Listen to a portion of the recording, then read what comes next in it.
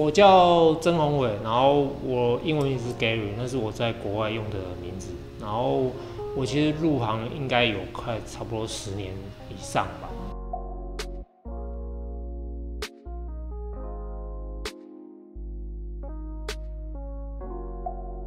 因为那时候认识那个史明威老师，所以后来我在他底下的工作室工作了一阵子。对，然后就是因为这样的关系，说老实话，就是一个敲门砖吧。如果就是来一席这边学习，然后又跟史明威老师认识，就变成是一个入门的敲门砖，就打开那个门。然后后来就是一些机会，就慢慢就走入这一行，这样。为什么我会参加那个留学先修班？就是我想要出国，但因为家庭。不是这么富裕啊，所以真的没有那个钱，就是直接说哦，这边课程结束之后我要出国读书就出国。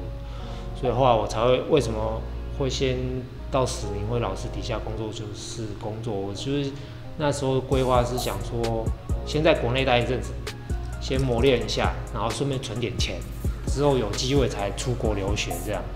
但就误打误撞，就是之后那个实习机会，我就哎。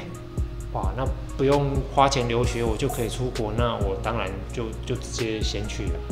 然后我就不管三七二十一，那时候英文都不懂，我出去的时候英文都不懂半句，我但我就直接出去，因为我觉得不出去就没机会了。第一个当然是它的 quality，所以你可以有很多时间去雕琢，但在电视动画很多时候你必须要赶时间。因为那个一集一集嘛，它都有排定的播放时间嘛，你必须要考虑到交货的进度，所以你要找个平衡点。然后，但是在电影电影产业其实进度也很紧凑，但是至少你做一个镜头的时间会比做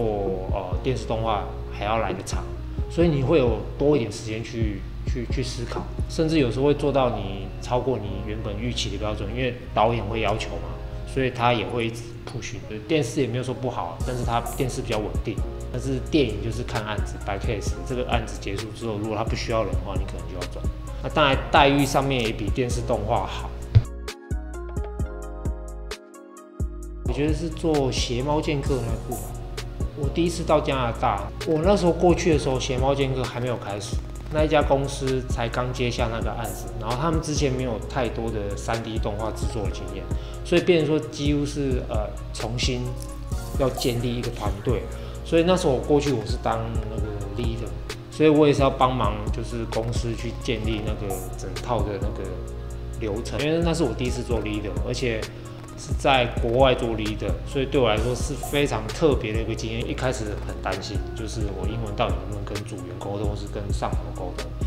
然后再加上我是第一次做这种比较稍微有点管理阶层的东西，头三个月非常的辛苦，一一周七天我都在工作，就是为了要赶快适应那个节奏，然后赶快把那个流程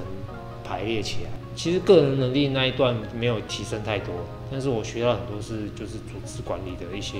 能力，也是因为那个经验，所以后来那个我去应征维塔的时候，他有提到说这段经验对我有帮助。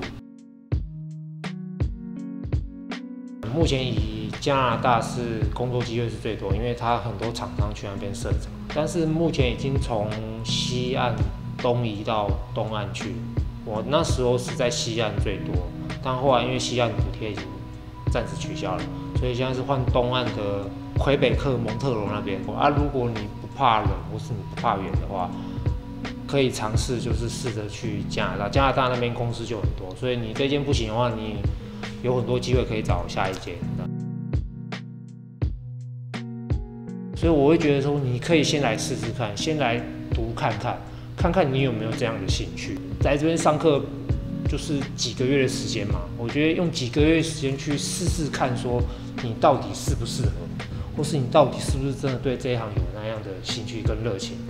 我觉得还蛮划算的啦。与其与其说你直接投一大笔钱直接出国留学，然后最后发觉说，哎，你好天分好像不在这边，或是说